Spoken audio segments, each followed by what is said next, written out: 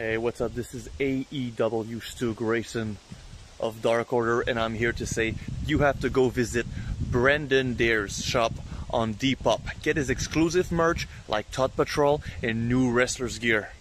Go ahead, guys, and go take a look at Brandon Dare's shop and join Dark Order.